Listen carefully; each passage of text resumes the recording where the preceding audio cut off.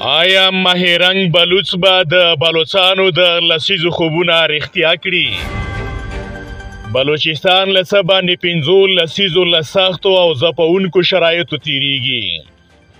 د دوی لسګونه مشران او مبارزین تری تم کړی شوي قتل شوي زندانی شوي او یا هم د وطن پریښودو ته اړکړی شوي دي خو اوس د آزاد ماهرنګ بلوچ په مشرۍ د بلوچ میرمنو غورځنګ چې د خپلو ورکو شوو عزیزانو په لټه پسې راوتی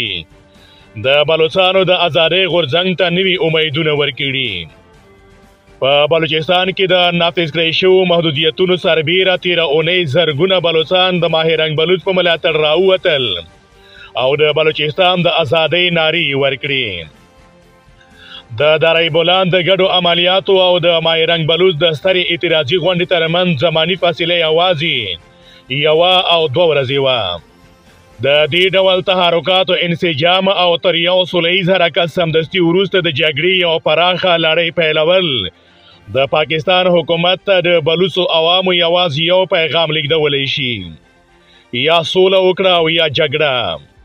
پاکستان تر دې دمه نه د ماه رنګ بلوچ په مشرۍ د ښځو د اعتراضي غورځنګ غوښتنې اورېدلي او منلې او نه هم کله د ازادۍ غوښتونکو حرکتونو د دایې په باب پرته لدی چې د لمنځه وړلو کوښښونه یې کړي د منلو او اورېدلو هڅه کړي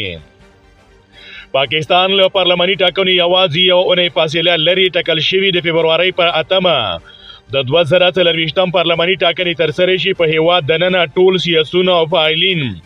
او له هیواد څخه بهر بلوچ سیاستوال او مبارزین د یادو عملیاتو په تړاو تر دې دمه خاموشي اختیار کړي او څه یې نه دي ویلي کاری چې د دارای بولان عملیات د ناویت انسجام او اغیز له پلوه ټولو اړخونو ته